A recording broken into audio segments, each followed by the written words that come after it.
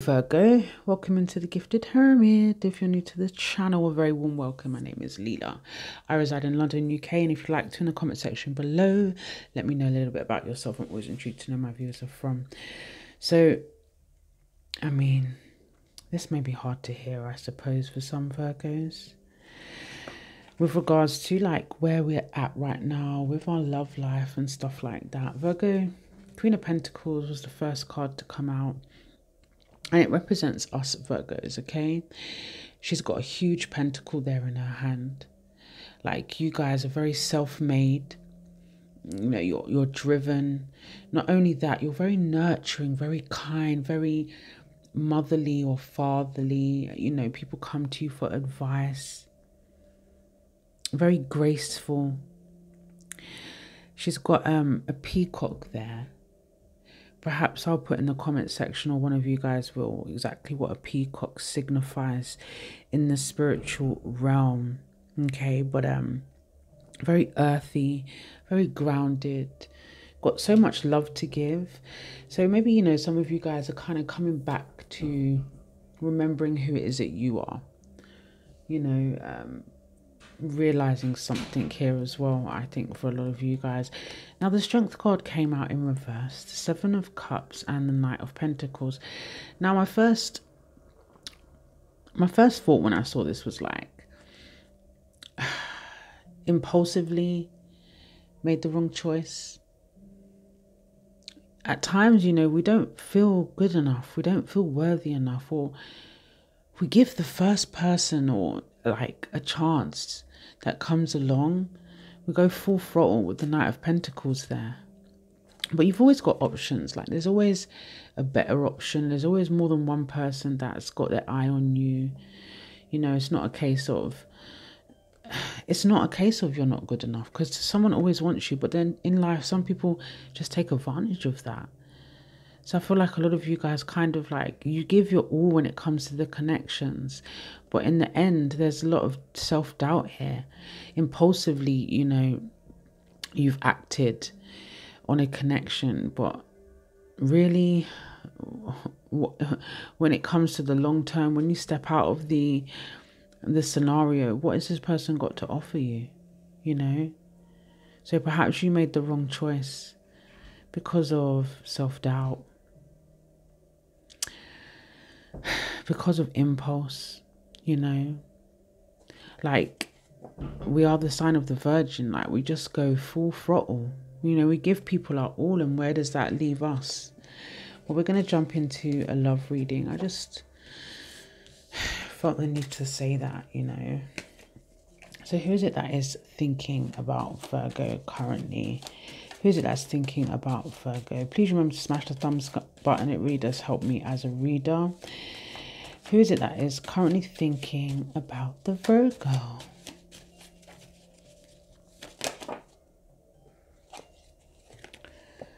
Okay, for some of you guys, it could be a Taurus. For some of you, it doesn't have to be a Taurus. It could be somebody that's just quite stubborn in nature. Now, I'm picking up on someone from the past okay someone that's quite nostalgic whoever is that's thinking about you i really feel like they're thinking about the values that you have as a person i think this person thinks that you're very traditional you know and that's hard to come by in this day and age like virgo Virgo's got good values. Virgo is very spiritual. Virgo is very grounded. Virgo wants to do things prim and proper. You know, no friends with benefits type of energy. No flings, one night stands. That's not Virgo, okay? Maybe that's how they saw you. Now, I'm not saying you're coming across as that, but maybe that's just like what they thought it was going to be. You know, nothing too serious. Give me one more card for the person that is thinking about Virgo. Definitely there is someone from the past that's thinking about you. Definitely someone's kind of thinking, yeah, Eight Cups wanted to come out there someone from the past that I think I believe you walked away from. They could have walked away from you. I believe that this connection is current. Oh, look, you can't make this up. Seven of Swords on the bottom of the deck. So there was deceived energy here, you know, with regards to the person that's thinking about you. Okay, someone lied to you. Perhaps you lied to them, but I doubt it. I feel like um, there was definitely some sort of betrayal, deceivement here. Look, see what I was saying about the friends with benefits? You know, Three of Cups gives me friendship vibes. So, yeah, who it is that's thinking about you, it's come to an end, or you turned your back on them, they've turned their back on you, things have collapsed emotionally. They're thinking about, wow, like Virgo left me, Virgo kind of turned their back on me.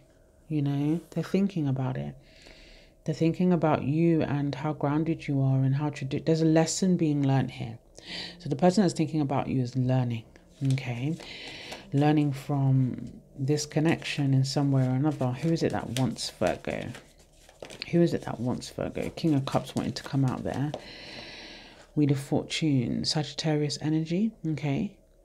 Tell me more about who is it that wants Virgo. Ten of Wands wanting to come out there. Ten of Wands is there. So we also have the Magician card. Some of you guys could be dealing with a Gemini or were dealing with a Gemini. Also Virgo with regards to the Magician card there, okay?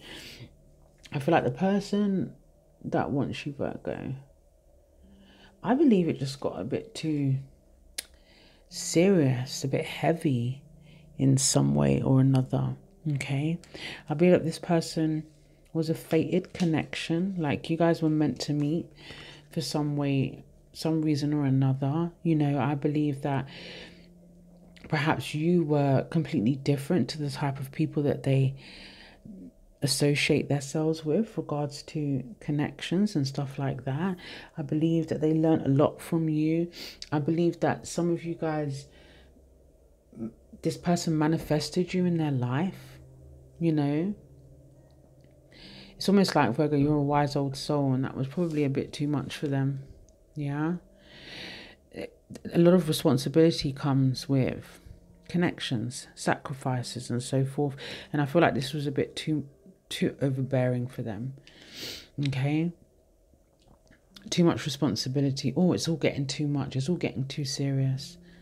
That that could be perhaps why this connection came to an halt you know, came to a halt or somebody left somebody here, you know. Definitely something to do with lessons being learned here. We've got three major arcana. So there's been big changes in your life right now. Okay. I believe that you were definitely somebody that was good for them, you know. But I reckon they didn't realize that, you know. Let's move on to who is it that truly loves Virgo. Who is it that truly loves Virgo. I feel like those didn't want to come out, weren't meant to come out. Who's it that truly loves Virgo? Five of Cups. Whoever it is that truly loves you, perhaps they disappointed you. Perhaps they know that they've disappointed you. Perhaps you're disappointed by them. Sadness here, though. Regret. Disappointment. Yeah, look, Ten of Swords wants to come out here. Do you know what? I just feel like, yeah, I feel like um they were juggling something here could be you and another person. I definitely feel like a lot of you that this came to an end. Somebody feels betrayed here. Somebody feels like an option, whether that be you or or them. But I do get this kind of with the two of pentacles, a sense of should I, shouldn't I? What should I do? And this could be like two people, yeah, where you were an option, you were a choice I feel like somebody knows that they let you down. Yeah. I feel like this person that that apparently loves you, yeah. Apparently nothing, nothing, nothing to me. Yeah, I just feel like um perhaps they're getting there. That they feel I feel like they feel like um the type of person that's quite resilient you know, and um,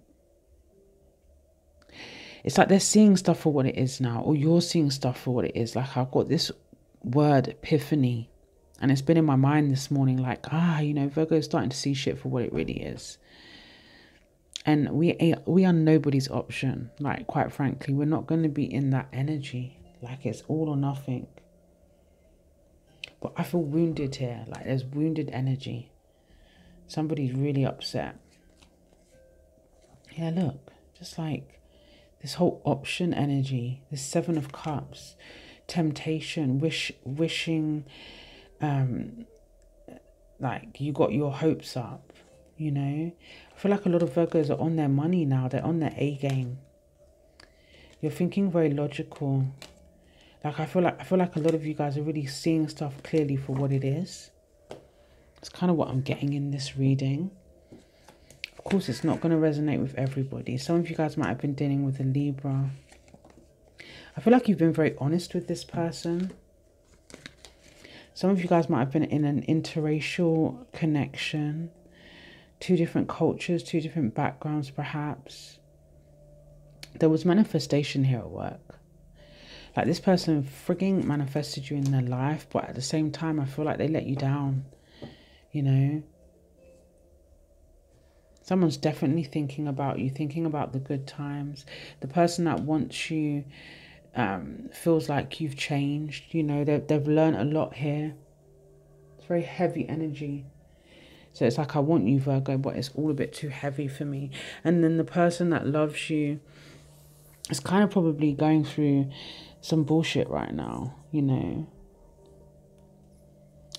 Probably trying to keep busy in order to stay out of their mind and their feelings, but there it still lingers.